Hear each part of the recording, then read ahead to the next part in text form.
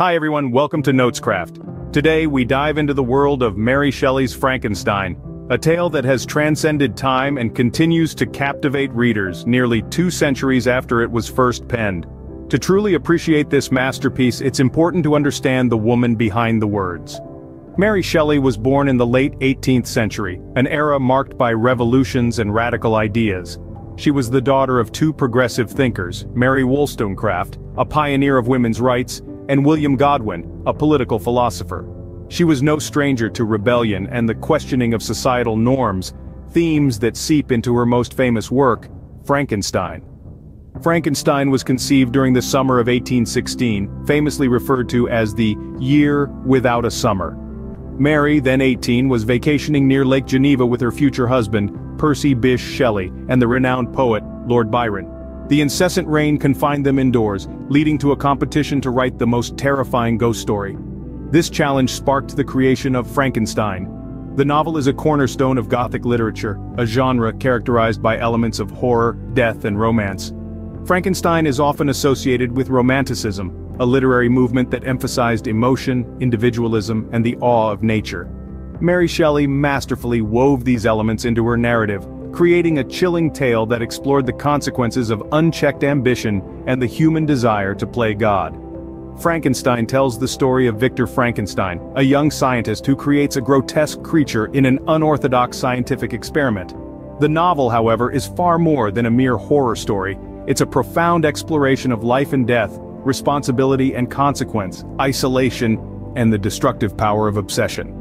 Now that we have a brief understanding of Mary Shelley and the context of Frankenstein, let's delve into the narrative. The story of Frankenstein is one that has permeated pop culture, but the original narrative is often misunderstood. So, let's delve into the captivating plot of Mary Shelley's masterpiece, Frankenstein. Our tale begins with a young, ambitious Swiss scientist named Victor Frankenstein. His burning desire to uncover the secrets of life leads him to the University of Ingolstadt, there, he becomes obsessed with the idea of creating life from non-living matter, a pursuit that consumes him for several years. Eventually, Victor's relentless pursuit bears fruit, and he accomplishes the unthinkable. He brings to life a creature assembled from stolen body parts. However, the end result is far from the beautiful being he envisioned. Instead, Victor finds himself face to face with a hideous creature, standing at 8 feet tall, with a grotesque appearance that sends shivers down his spine. Overwhelmed by horror and regret, Victor abandons his creation and falls into a fitful sleep, haunted by nightmares. Awakening to find the creature gone, Victor is momentarily relieved, but his peace is short-lived. His younger brother William is found murdered, and Justine, a kind-hearted family servant, is wrongfully accused and executed for the crime. The real murderer, Victor discovers, is the creature he created and abandoned. The creature, desperate for companionship and angry at his creator for his abandonment and the loneliness he has endured, confronts Victor. He shares his tale of survival and loneliness and demands that Victor creates a female companion for him. Victor fearing the wrath of another such creature initially agrees but later destroys the female creature before she's complete. This act of betrayal fuels the creature's rage further. On Victor's wedding night the creature takes his revenge by killing Elizabeth, Victor's beloved wife. In his grief, Victor vows to destroy the creature and embarks on a relentless pursuit, chasing his creation across the icy wilderness. In the end, Victor dies from exhaustion and exposure, his quest for vengeance unfulfilled. The creature upon discovering his creator's death, mourns the man who gave him life and yet brought him so much pain.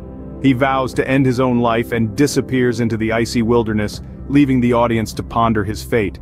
The complexity of the narrative is what makes Frankenstein a masterpiece but it's the characters that truly bring this story to life. From Victor's tragic ambition and the creature's desperate loneliness, to the needless deaths of innocent characters, the plot serves as a stark reminder of the consequences of playing God and the profound impact of loneliness and rejection. The characters in Frankenstein are as complex as the narrative itself. At the heart of this tangled web of creation and destruction, we find Victor Frankenstein and his creation, the creature. Victor, a man of science is driven by his insatiable curiosity and an unquenchable thirst for knowledge. His ambition leads him to the creation of life, but not without a price. Victor represents the dangers of unchecked ambition and the potential pitfalls of scientific advancement. The creature on the other hand is a symbol of innocence turned into monstrosity by rejection and mistreatment. Born without a name it only seeks acceptance and companionship, but is met with fear and loathing. The creature's journey from innocence to vengefulness reflects the impact of society's judgment and the power of nurture over nature. Victor and the creature are two sides of the same coin. They mirror each other's loneliness, their desire for acceptance, and their struggle with their own monstrous natures. Their intertwined fates remind us that creators are often haunted by their creations, and creations are forever marked by their creators. Among the secondary characters we have Elizabeth Lavenza, Victor's adopted sister and love interest. She represents the ideal woman of the time, kind, gentle, and self-sacrificing. Her tragic end underscores the destructive consequences of Victor's reckless pursuit of knowledge. Then there's Robert Walton, the explorer who rescues Victor from the icy wilderness. His character serves as a foil to Victor, highlighting the difference between healthy ambition and obsessive pursuit. Henry Clerval, Victor's best friend embodies the virtues of empathy and humility, standing in stark contrast to Victor's hubris. His innocence and untimely death further highlight the tragic consequences of Victor's actions. Lastly, we have Justine Moritz, the family servant wrongfully accused of murder. Her fate illustrates the theme of injustice and the destructive power of false accusations. These characters and their struggles are what make Frankenstein a timeless tale. Now let's look at the central themes of the story. Mary Shelley's Frankenstein is a complex, multi-layered narrative that has stood the test of time. Today we've journeyed through the twisted labyrinth of this iconic tale, scrutinizing its captivating plot, intricate characters, and profound themes. The tragedy of Victor Frankenstein and his creature, both victims and perpetrators, is a haunting tale that lingers in the reader's mind. The characters, each with their unique stories and perspectives, bring to life the timeless themes that Mary Shelley deftly embedded in her narrative.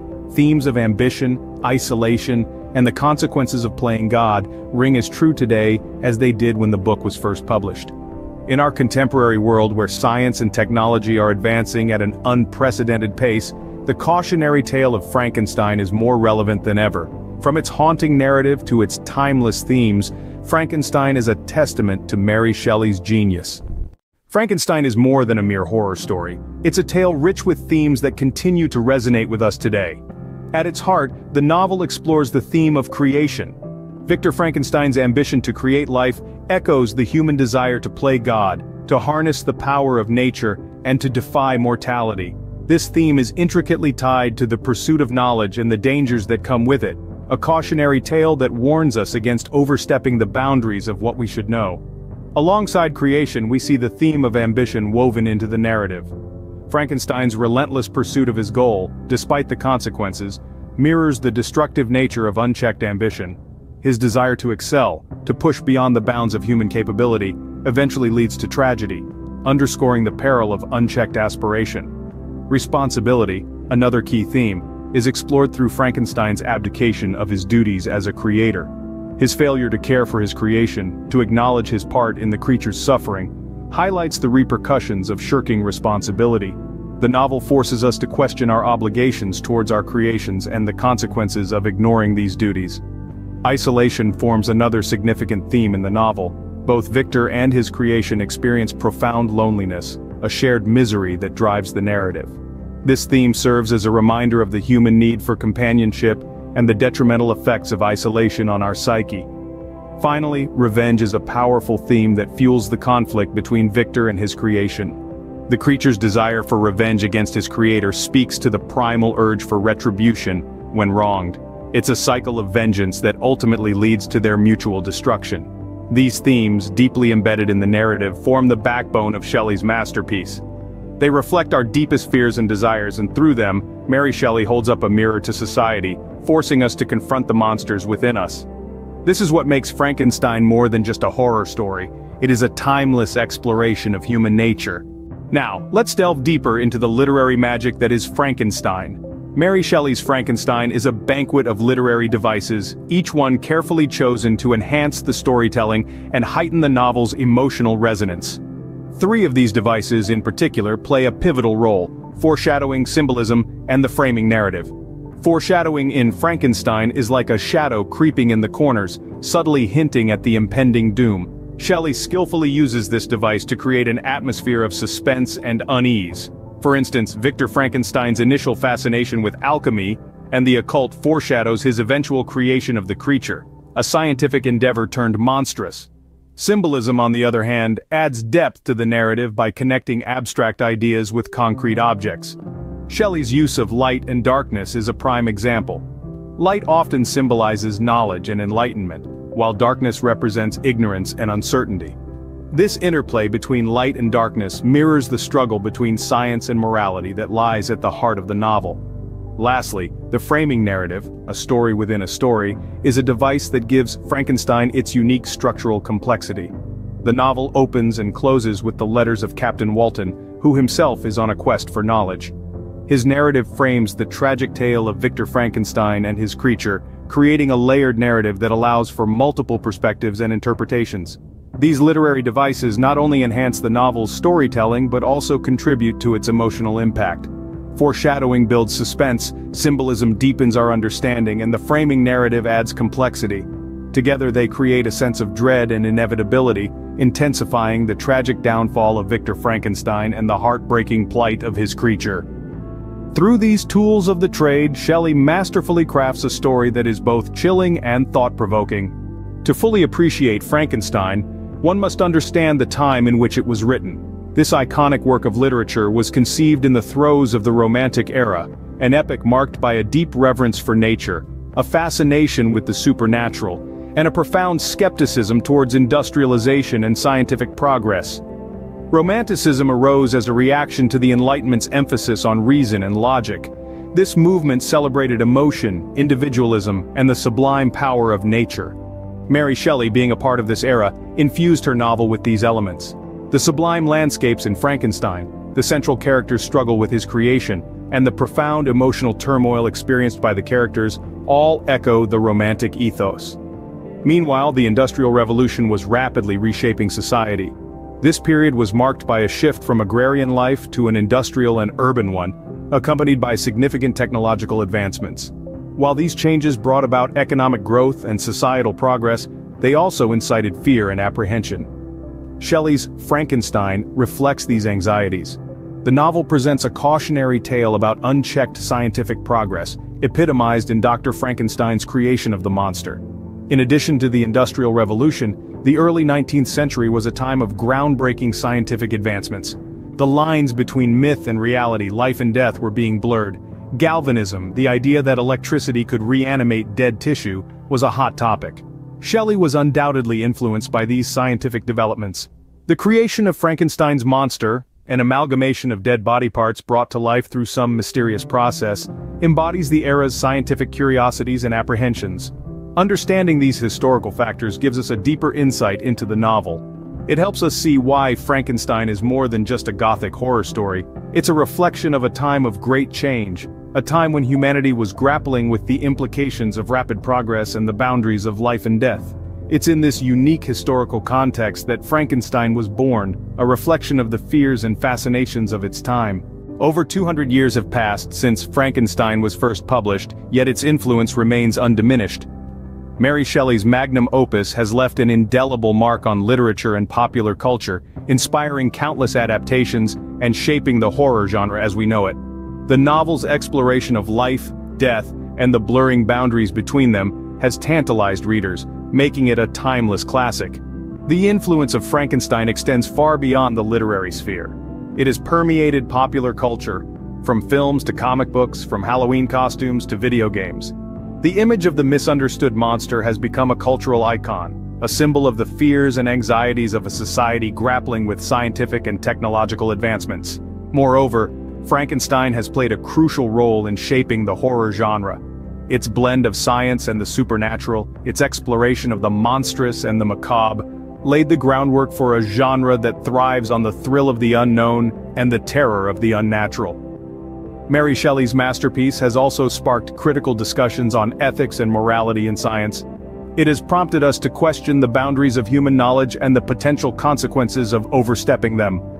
Frankenstein serves as a cautionary tale, warning us of the perils of unchecked ambition and the misuse of scientific power. Yet, despite its grim themes and ominous undertones, Frankenstein continues to captivate readers today. Its enduring appeal lies in its universal themes, the quest for knowledge, the fear of the unknown, the struggle for acceptance. These themes resonate with readers, drawing them into the eerie world of Victor Frankenstein and his monstrous creation. Frankenstein is more than just a chilling tale of horror. It is a profound exploration of humanity's deepest fears and desires, a poignant commentary on society's relentless pursuit of progress. It is a testament to Mary Shelley's genius and the enduring power of literature. Thus, Frankenstein stands as a monumental work, a testament to Mary Shelley's genius and the enduring power of literature. As we conclude our journey through Frankenstein, we find ourselves in awe of Mary Shelley's literary prowess. This tale of a man-made monster takes us on a profound exploration of themes, from the dangers of unbridled scientific ambition to the profound loneliness of being different. It's a narrative that transcends time, highlighting the eternal human struggle to grapple with our own creations and consequences. Shelley's use of literary devices, like the epistolary form and frame narrative, not only provide a unique storytelling method, but also deepen the narrative's emotional resonance. The historical context of the novel enhances its significance, reflecting the socio-political climate of the early 19th century, the dawn of the Industrial Revolution, and the Romantic era's rebellion against Enlightenment rationalism. The lasting impact of Frankenstein is undeniable. It stands as a cornerstone of Gothic literature, a pioneer of science fiction, and a profound exploration of human nature. It's a testament to Shelley's genius that her debut novel, written when she was just 18, continues to captivate, inspire and challenge us over two centuries later. In our exploration of Frankenstein, we've uncovered layers of meaning, context and influence. But the beauty of literature is that it's always open to new perspectives, interpretations, and discussions. So, the conversation doesn't stop here. Thank you for watching. Please like and share our video and subscribe to our YouTube channel. If our content resonates with you, kindly share your suggestions on what you'd like to see next in the comments down below.